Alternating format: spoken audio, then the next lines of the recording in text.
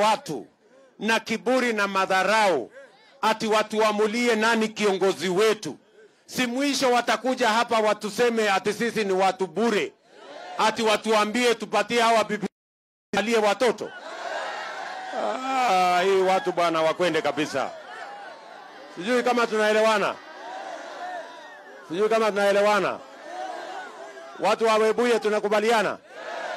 Hawa watu tutakomesha hii kiburi na madharau ama hatutakomesha? Si tutakomesha mwaka huu, si tutakomesha mwaka huu. Na tunataka hawa mabwenyenye wajue, hata kama wako na mabilioni kwa akaunti zao, kura yao ni moja kama ya mama mboga hapa Mugwee, ama namna gani? Si kila mtu wako na kura moja? Si hawa watu watawacha kiburi na madharau?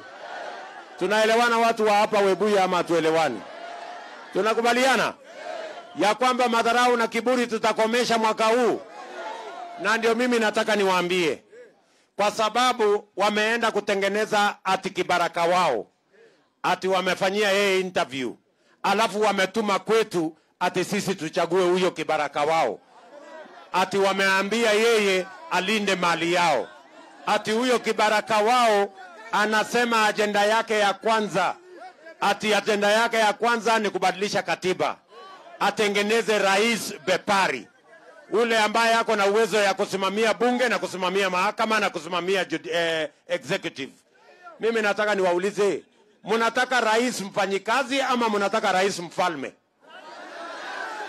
Si mnataka rais mfanyikazi?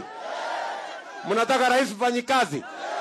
Hawa watu wanataka kututengenezea rais mfalme, ati mtu ya kuimbiwa na kuabudiwa na, ku, na kupigiwa makofi. Sisi tunataka tuwaambie, hatutakubali watu wachache watuchagulie kiongozi wetu.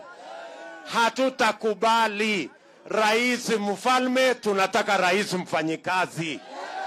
Hatutakubali ati hawa vijana wetu ati yule mtu ya kitendawili anasema ati atawanyamazisha na handouts, kila mtu apatiwe handouts kidogo kidogo. Nyinyi vijana mnataka handout ama mnataka kazi? Mnataka handout ama mnataka kazi? Ndio mimi nataka ni munisikize kwa makini. Mwaka huu tunaweka bilioni mia moja kupanga ajira ya hawa vijana hawa. Hiyo mambo ya handouts ni mambo ya upuzi. Nyinyi mnanielewa? Na mimi nataka niwaambie vile tulikuwa tumepanga ndani ya tunaweka bilioni mia moja kwa mambo ya housing, agro processing, value addition, manufacturing, ndio tupange ajira vijana wetu kwanza. Nyinyi mnanielewa? Jambo la pili, tunasema mazi kazi. Hata kama biashara yako ni kidogo, ni jukumu letu kama serikali biashara biashara kubwa. Nyinyi mnanielewa?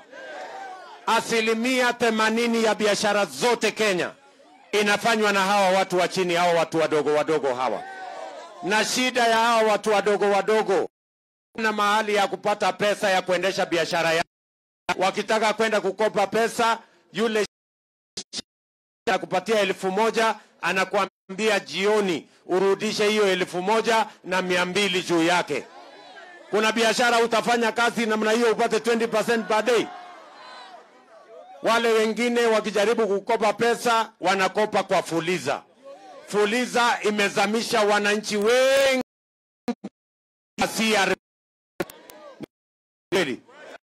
Mimi nina ya kitendawili akilalamika ati oh, William Ruto amepatia milioni moja kwa bodaboda, sijui amepatia milioni moja kwa mama mboga. Mimi nataka niwaambie bwana kitendawili, wacha kucomplain mambo ya milioni moja nimepatia bodaboda. Mwaka huu tunaweka bilioni hamsini kwa biashara ya hawa watu wadogo. Nyinyi mnanielewa? Wawache kulalamikia 1 million.